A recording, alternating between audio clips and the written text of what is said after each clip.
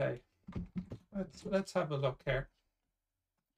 So he's six feet tall, and casts a shadow X.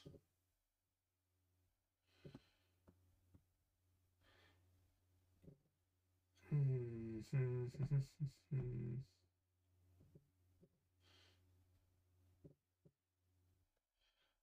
Can now I can note this position. I can note this position. So I can calculate this position.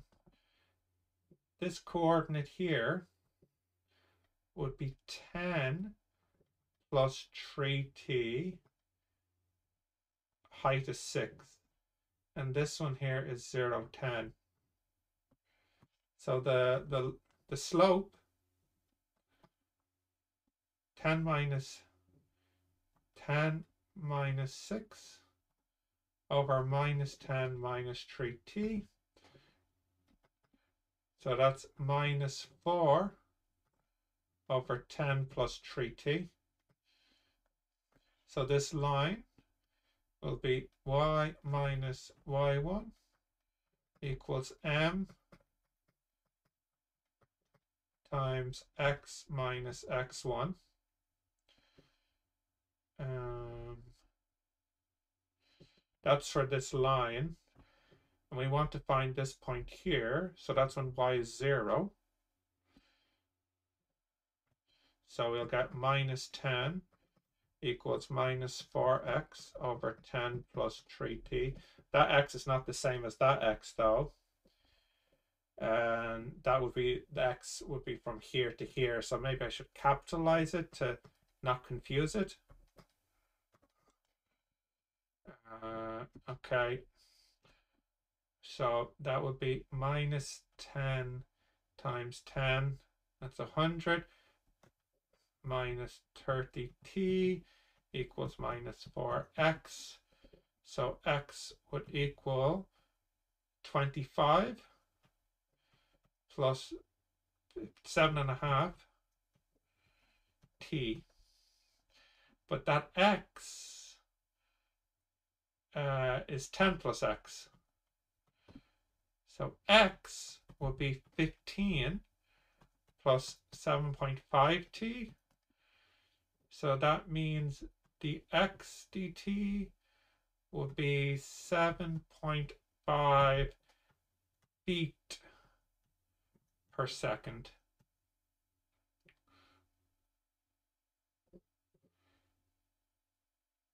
Um,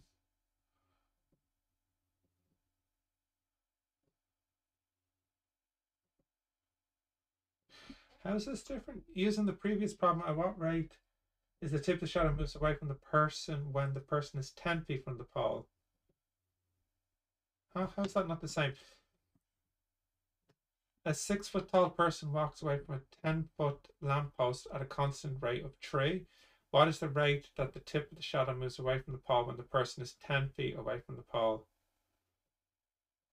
Using the previous problem, what is the rate at which the tip of the shadow moves away from the person when the person is 10 feet from the pole.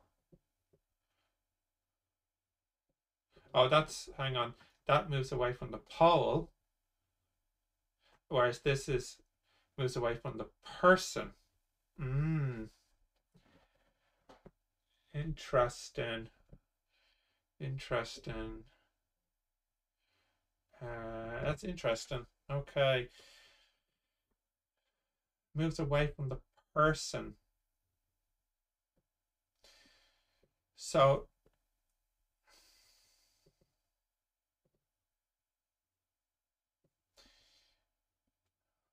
this x here, yeah, um, he's moving at three feet per second. So I'd imagine it's just, it's just going to be the subtraction of the two, I would hope. So that would be Maybe I shouldn't have called this x dot because it's from the pole. So maybe X might not have been the best letter here. Like I should have called something like um, D. That might have been better.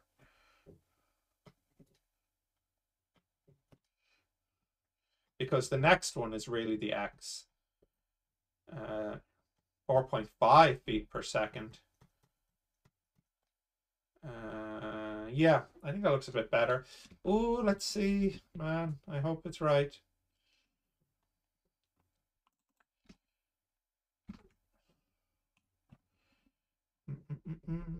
Four and a half feet. Success. Okay, great. 12. A five foot tall person walks towards a wall at a rate of two feet per second. There shouldn't be a, a new line there. Should be a non-breaking space between the two and the feet per second. A spotlight is located on the ground. Oh, okay. A five foot tall person walks towards a wall at a rate of two feet per second. A spotlight is located on the ground 40 feet from the wall. Ah. How fast does the height of the person shot on the wall change? Okay. So there's a person here. And he is walking to the right at two um, two feet per second. A spotlight is located 40 feet from the wall. The person is five foot tall. And this is a 10 here. And uh, going to shine there. Okay. So think I can do this in a very similar way. Um, this point here is fixed at minus 40, 0 this point here um, is not fixed. Um, it's moving, but if we take this moment to be t is zero, so this position here, that would have to be 30. So that would be minus 30 plus 2t and its height, what do we say its height was? Five. Five. Five. So uh, the slope of this line will be 5 minus 0, 5 minus 0 over this minus this. So that's plus 40, 40, 10 plus 2t. So y minus y1 equals m times x minus x1 and uh, we want the y when x is 0 I guess so y would be 5 times 40 800 over 10 plus 2t.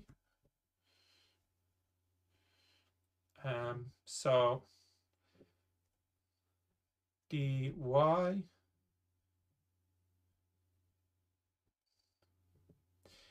let's think about this when t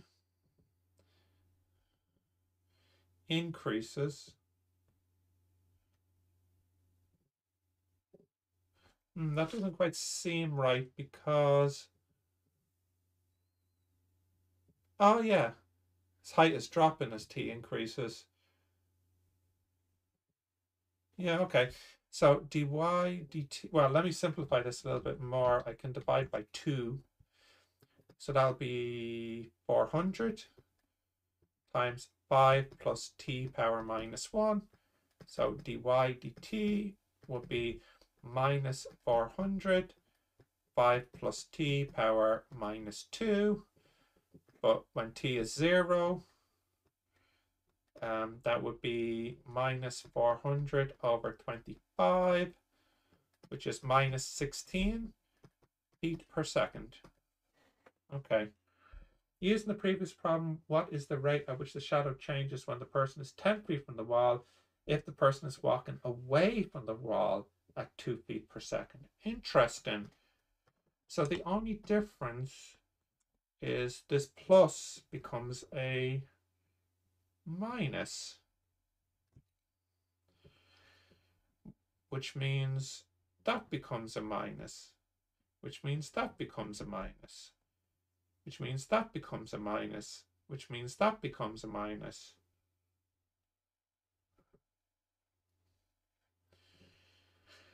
But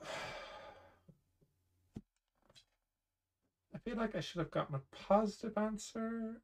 Yes, because the derivative here is minus 1, so that becomes a plus, and that becomes a plus. So it'd be 16 feet per second. Ah. 4 over 9. 4 over 9. Okay, I must have made a silly arithmetic mistake. Let's double check my work. Right, a five foot tall person walks at a rate of two feet per second. A spotlight is located on the ground 40 feet from the wall. How fast does the height of the person shadow on the wall change when the person is 10 from the wall? So that's 30, that's 5, that's moving at 2.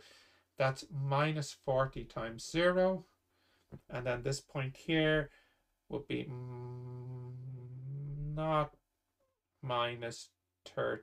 No, it is minus. Oh, rats. It's minus 10.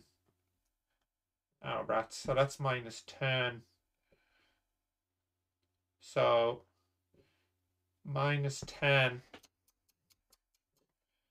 Rats. Rats. Good thing we have the answers at the back. Okay, minus 10 plus 2t minus minus 40. So that should have been 30 then. 30, 30, 30, uh, 15, um, 15,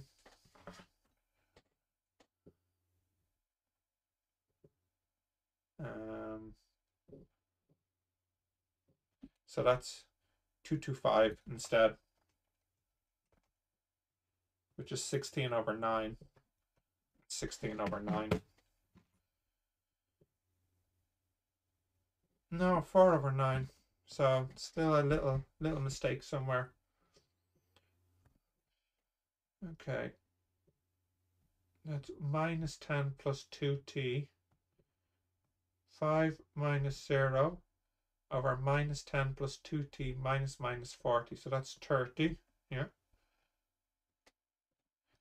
y minus y1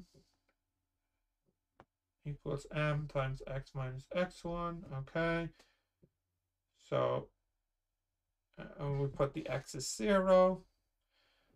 Okay. That, okay, that's right.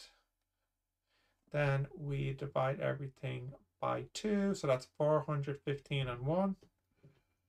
And then we bring down the power, reduce the power by 1. Okay, and then 15 squared is 225, isn't it?